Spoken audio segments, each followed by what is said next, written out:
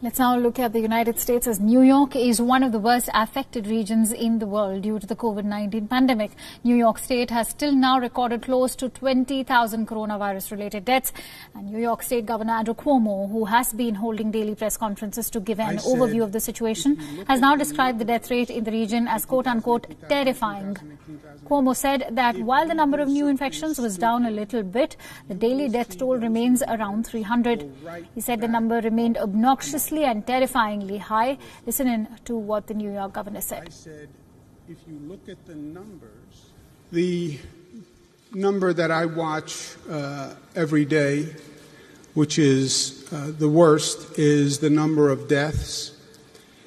That number has remained uh, obnoxiously and uh, terrifyingly high, and it's still not dropping at the rate we would like to see it drop. It, it even went up a little bit, 299, 289 the day before. So that is bad news. 276 deaths in hospitals, 23 in nursing homes. Talking about new cases reported daily, Cuomo said that the number was relatively flat at about 900. He said that while this number is not great, the number of new hospitalizations has gone down, certainly. The net change in hospitalizations is down a tick. Intubations is down, which is very good news. The new cases walking in the door, the new COVID cases, the number of new infections was also down a little bit, 831. It had been relatively flat at about 900 every day, which is not great news.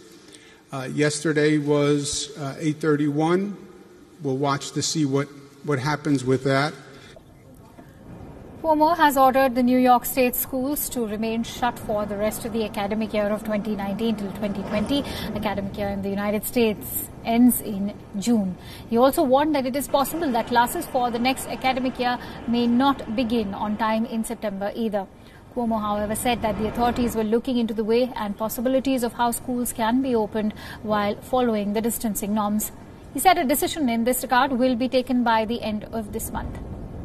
Cuomo has already announced that New York's round the clock subway system will be resuming operations from Wednesday next week, but the services will not be 24 hours. Services will shut down daily from 1 a.m. till 5 a.m.